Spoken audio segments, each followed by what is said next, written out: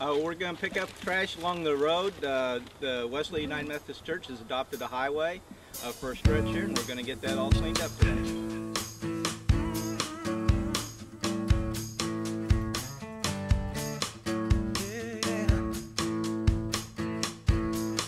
Scissors.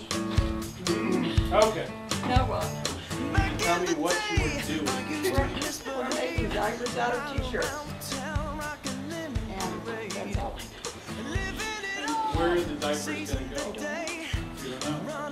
There you go. They're, they're going to a third world country. That's always good. Where did the t-shirts come from? Everybody in the church and their relatives, I think.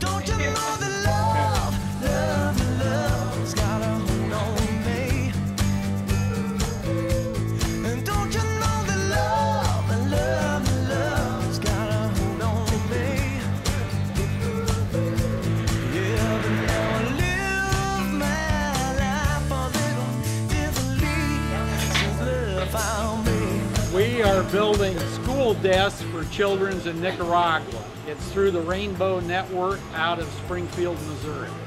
We are going to build these, put them together in a, basically they fold together into a box by themselves.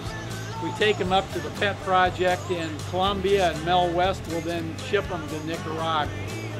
Uh, as you look at all the parts laying on the floor, you, you realize it's a little more complicated than maybe what I originally thought. but it'll be there.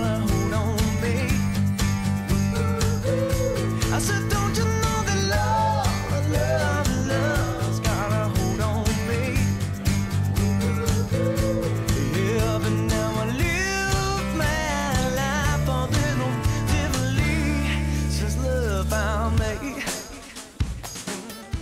Cut. oh, there.